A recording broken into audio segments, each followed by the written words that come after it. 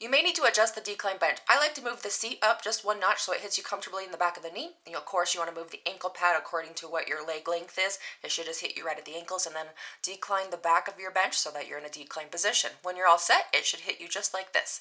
What we're going to do is hold a weight near our chest, right underneath our chin. It could be a plate, it could be a dumbbell, but I want you to keep it there.